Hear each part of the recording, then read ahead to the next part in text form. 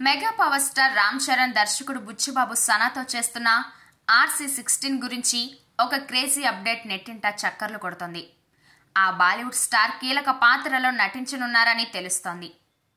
RC సిక్స్టీన్కి ఉప్పెన cinema దర్శకుడు బుచ్చిబాబు దర్శకత్వం వహిస్తున్నారు. ఈ సినిమాకు సంబంధించి అప్డేట్స్ను ఆయన అప్పుడప్పుడు షేర్ చేస్తున్నారు. ఈ మధ్యే ఈ సినిమాలో బాలీవుడ్ హీరోయిన్ జాన్వీ కపూర్ను తీసుకుంటున్నట్టు అధికారికంగా ప్రకటించారు. అంతేకాదు ఈ చిత్రంలో రీసెంట్గా మళ్ళీ ఫామ్లోకి వచ్చిన Bollywood star actor Animal villain Bobby Deol కూడా నటించే అవకాశం ఉందని ప్రచారం జోరుగా సాగుతోంది. యానిమల్ చిత్రంలో తన పన్నెండు నిమిషాల విలన్ పాత్ర ద్వారా ప్రేక్షకులను విపరీతంగా ఆకట్టుకున్నారు బాబీ దేవోల్.